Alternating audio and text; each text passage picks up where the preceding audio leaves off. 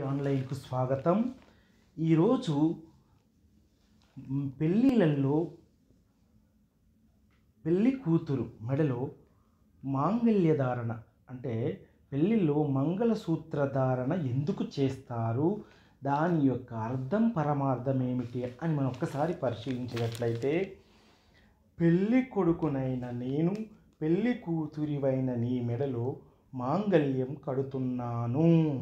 నా మరి నీ జీవనం ఈ క్షణం నుంచి ప్రారంభం అవుతుంది.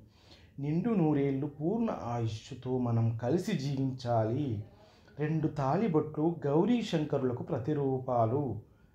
పరస్పరం ఒక్కటై అత్తింటి వారిని పుట్టింటి వారిని రెండు తాలిబొట్ల వలె సదా కలిపి ఉంచి సుఖంగా జీవితాన్ని గడుపుదామని దాని యొక్క అర్థము పరమార్థము.